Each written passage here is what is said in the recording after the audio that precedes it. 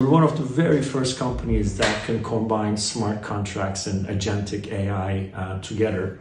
When you do that, you're able to create a 360 degree view of asset, which is very important for the institutions, but also it's very important for the investors. So our agentic AI platform has uh, three unique uh, differentiators. So the first differentiator that we have, we operate on on-prem for our uh, banking uh, clients.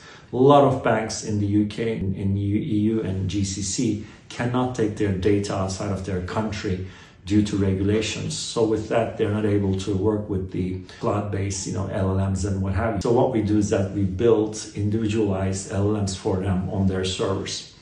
And so that becomes a one very big differentiator for them because whatever that they're training their um, LLM that we built for them with is become um, their uh, information. Number two is that it's about data, all about data and data cleansing. It's very difficult for these institutions to work with unstructured data and make important decisions on that data. So they have to hire a lot of people to uh, cleanse that data, which takes a lot of time and it's a very cumbersome uh, process. So our agentic AI platform, uh, building lots of different uh, agentic AI engines, cleanses data for the client. So that could be a, a management accounts, it could be a P&L, it could be you know whatever financials that they we have.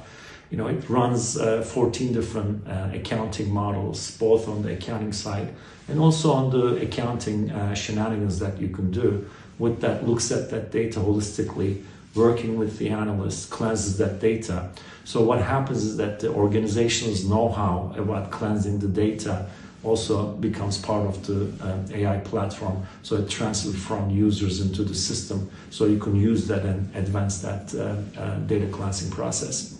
And then the third uh, benefit that we bring, we run advanced uh, semantic models and advanced models to create insights, you know, for the clients.